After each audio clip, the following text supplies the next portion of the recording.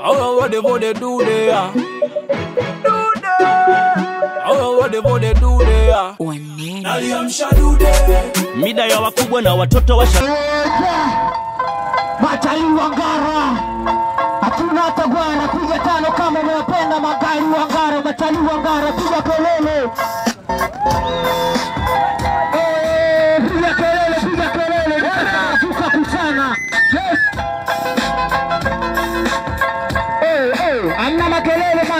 kusema.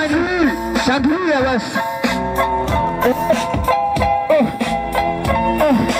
napambana na maisha kidume nilivyo kukaza, baadaye nikula kwa kupita masela, msije mkanicheka.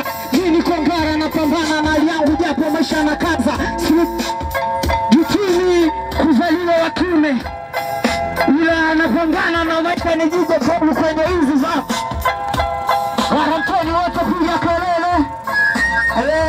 ale gara freshi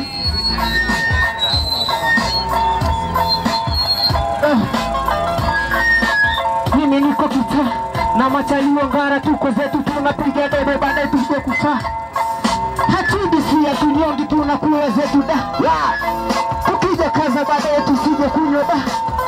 Tupeleke nyumbani tukale na wazazi Bwana, kausha kwanza ka, ka, DJ, DJ kata. Eh bwana, amna anaweza kumfunika. Kwa hiyo mnakubali huyu jamaa ndio wapate fomu ya bure kwa upande wa Ngaramtoni nzima.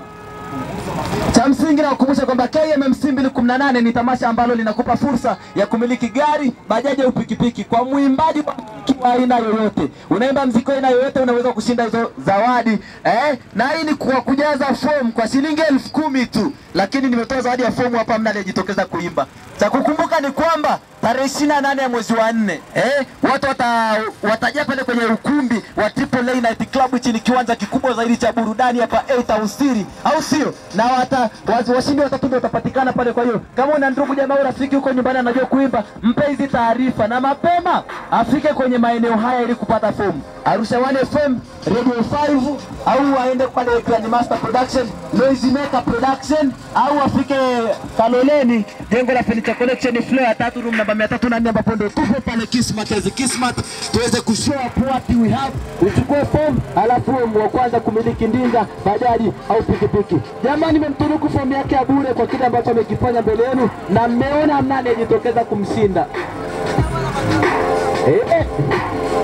Misha, chukua tutakutana kwenye mashindano na sio mashindano, tumkumbuke kwamba mwanangu, kama uko kwenye IC tutakutana sheli pia, kwa sababu na mpango wa kumilia ila mwanangu umetisha sana, sisi tuko tuna raksha raksha, umekosa mpinzani. Kwa hiyo ngoja tuendeze tu mitaa ambayo bana ina wapinzani. Ngaramtoni mmeniangusha sana, ila sio kitu eh kushindana naye hapa. Atakuja ofisini kuchukua fomu, ameshapata mawasiliano kamili, na akifika ofisini atatuletea na washikaji zake ambao wanajua wanajua kuimba, au sio?